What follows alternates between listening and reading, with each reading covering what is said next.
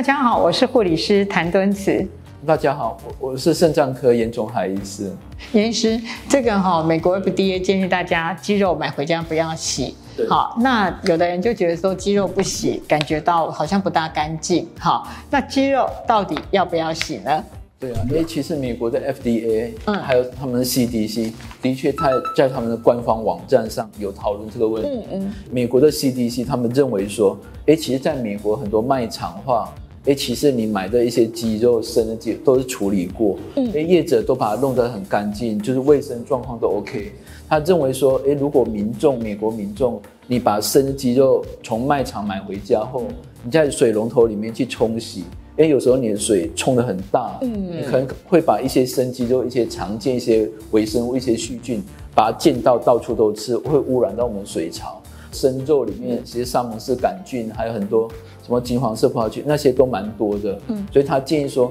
如果你卖场买回家鸡肉，你就不要洗，直接下锅煮。我想每个国家就我们买东西买肉的文化都不一样，对。像我们在国内的话，也有时候民众会到菜市场买鸡肉，是，对。然后有一些是到卖场买鸡肉，那当然是可以不用洗，是。那可是如果说。我我到菜市场去买生的鸡肉，是哎，感觉上就没有洗，就觉得怪怪。对对，其实我个人的做法是这样：如果我买的是盒装鸡肉的话，其实基本上我就打开会直接烹调。但是我如果买是菜市场的这个鸡肉的话，我带回家的时候，我不会先打开，我就会先烧一锅水，然后呢，水烧开之后，我就把这个鸡肉倒下去穿烫，然后我会把袋子整个封好之后收到垃圾桶去，然后洗手之后再做后续的处理。所以我这个生鸡肉是这样处理，但是呢，原因是这个其实鸡肉是一个良好的蛋白质来源，但是也蛮多的网络谣言哈，很多人就说这个鸡会不会打荷尔蒙哈，好像就所以觉得它的长得很快，其实鸡应该不需要用到荷尔蒙吧？不不需要，我想我们其实我们的农委会主管机关对鸡在养鸡还有里面的一些什么化合物啊、抗生残留都一定的标准，只要是合乎我们的主管这样标准，大家都不用担心。是，其实我鸡肉有几个地方不吃哈，大概我就是鸡脖子，然后鸡皮、鸡翅、鸡屁股哈。那很多人就说这几个地方会不会是因为打荷尔蒙的关系，所以我不吃哈？其实不是啦，是因为这些东西地方太油了，所以我是不吃这些地方的。对，那原是这个之前就有一个新闻，就说，哎，这个我们的鸡肉在处理的过程中会用到一些漂白的这些药剂，那这个对我们有伤害吗？对啊，因为其其实那个应该说不同国家的一些在屠宰场里面，他在处理一些肉品的一些一一个流程。例如说，在美国啦，在美国，它在鸡肉屠宰当中，哎，它可以含用含有含氯的消毒液。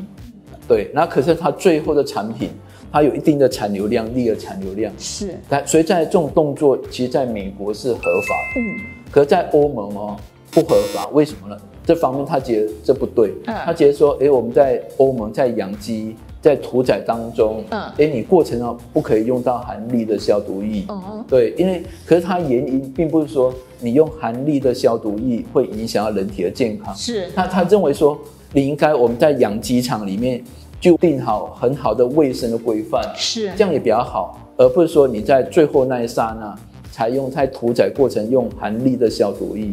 所以这不一样的政策啦，所以你看，在美国也是合法一个动作，可在欧盟却不合法。然后国内的话，其实我们的农委会，就是我们主管机关的话，他也认为说，我们在机制在屠宰过程中用含氯的消毒液是 OK 的，可是他最后有定定好它残留量了。就是残留量一定要在很低的某个标准。嗯，其实我们在煮的过程中，氯也是会挥发掉的嘛。哈，其实你可以有几个方法哈，盒装的大概不要洗，然后呢，菜市场买的你可以先穿烫再处理。那如果说你真的都没办法，你就是要清洗它的话，记得水流不要太大，然后呢，不要让它四溅。同时呢，洗完擦干之后，伸手时要分离，然后呢，水槽要洗干净。